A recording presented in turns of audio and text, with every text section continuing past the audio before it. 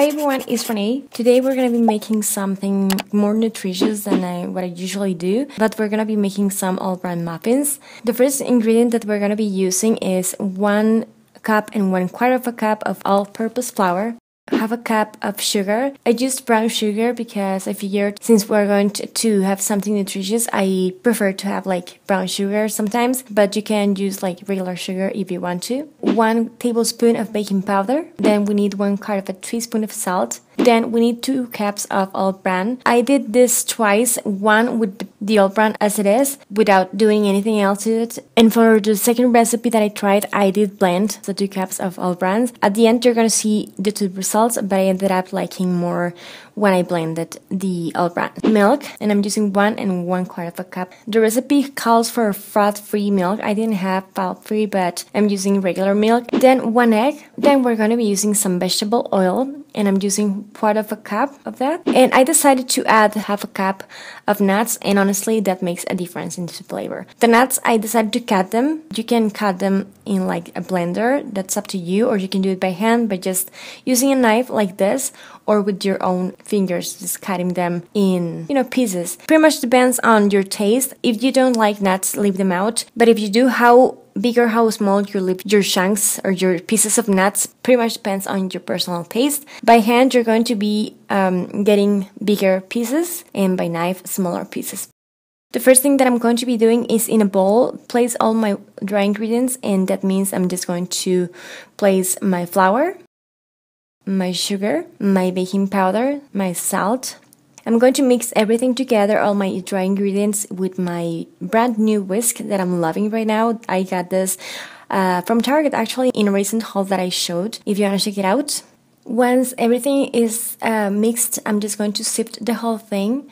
This step is important because it's going to make like everything blend together and most likely is going to eliminate any bumps or lumps that some of your dry ingredients might have. Once I have done that, I'm just going to go into a large mixing bowl. I'm just going to combine my cereal with my milk and I'm just going to let it sit for about the recipe calls two minutes, but it was way more than that. It was actually like for five to ten minutes and even after that, it wasn't as soft as I was expecting it to be. So that's why I decided to just then make the other recipe that I was mentioning before.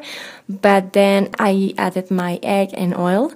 And you're just going to beat that up. And then once everything is mixed, you're just going to add your flour mixture, which contains all the the dry ingredients.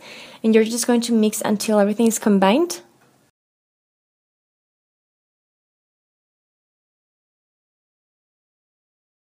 So once your ingredients are combined as a final step, you're going to add your nuts.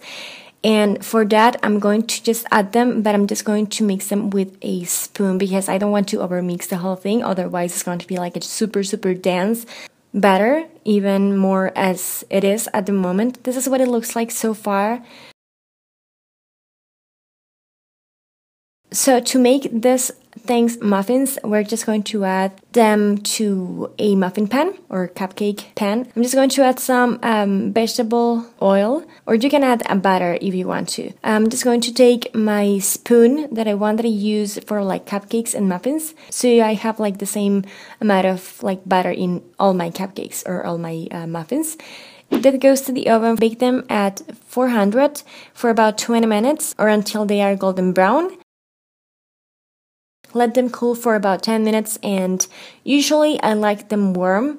So if they get like at room temperature, just go ahead and pop them into the microwave so you can have like a nice warm dessert or snack. Now this is what looks like with the All-Bran cereal as it is, as I was mentioning at the beginning. And this is what it looks like from the inside, so you can see more or less what it looks like and what you're going to get. These are honestly so good.